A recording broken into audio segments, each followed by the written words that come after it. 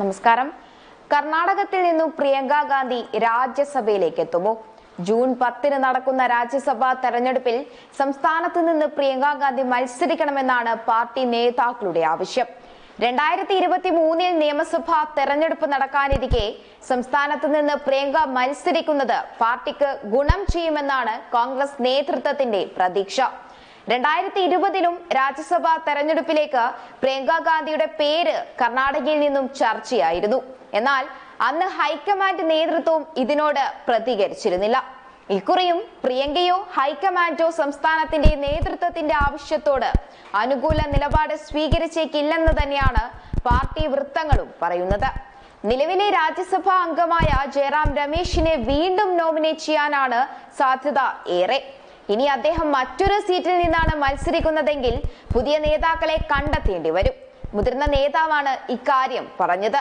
കർണാടകയിൽ നിന്നുള്ള രാജ്യസഭാ അംഗമായ ജയറാം രമേശിനോട് ഹരിയാനയിൽ നിന്ന് മത്സരിക്കാൻ ദീപേന്ദ്ര സിംഗ് ഹൂഡ പറഞ്ഞിരുന്നു. അതേസമയം ജയറാം രമേശിന് പുറമെ മുൻ A L C Ivan D'Souza മുൻ ലോക്സഭ എം പി കൂടിയായ വി എസ് ഉഗ്രപ്പ എന്നിവരും സ്ഥാനാർത്ഥിത്വത്തിനായി രംഗത്തുണ്ട്.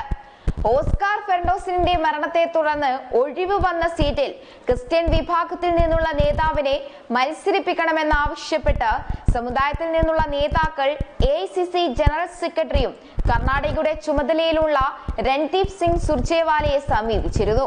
നാല് രാജ്യസഭാ സീറ്റുകളിലേക്ക് തെരഞ്ഞെടുപ്പ് നടക്കുന്നത്. കേന്ദ്ര ധനമന്ത്രി നിർമ്മല സീതാരാമൻ ബി ജെ പിയിലെ കെ സി രാമമൂർത്തി ജയറാം രമേശ് അന്തരിച്ച നേതാവ് ഓസ്കാർ ഫെർണാണ്ടസ് എന്നിവരുടെ സീറ്റുകളിലേക്കാണ് തെരഞ്ഞെടുപ്പ് നടക്കുന്നത്. നിർമ്മല സീതാരാമനെയും കെ സി രാമസ്വാമിയെയും ബി ജെ പി വീണ്ടും മത്സരിപ്പിക്കും. അതേസമയം ഒരു സീറ്റിൽ വിജയിക്കാൻ പതിനാല് വോട്ടുകളുടെ കുറവുള്ള J D S B J പിയുടെ പിന്തുണ തേടിയേക്കുമെന്നാണ് റിപ്പോർട്ട്. മുതിർന്ന നേതാവും party തലവനുമായ H D Deve Gowda B J P ദേശീയ നേതൃത്വവുമായി ഇത് സംബന്ധിച്ച ചർച്ച ക്ഷമിക്കണം ചർച്ച നടത്തുമെന്ന് നേതാക്കൾ നേരത്തെ അറിയിച്ചിരുന്നു. ഒരു രാജ്യസഭാ അംഗത്തിന് വിജയിക്കാൻ നാൽപ്പത്തി അഞ്ച് വോട്ടാണ് ആവശ്യം.